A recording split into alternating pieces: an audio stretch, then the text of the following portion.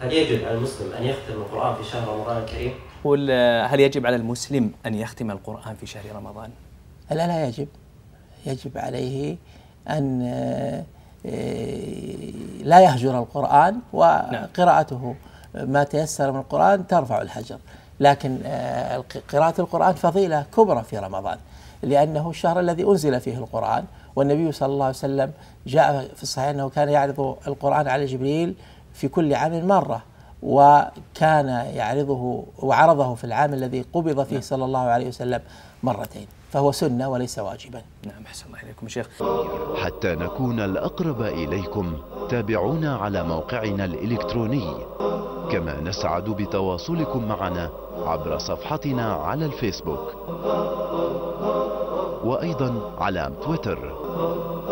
وبإمكانكم دائما مشاهدة العديد من برامجنا. على قناتنا على يوتيوب.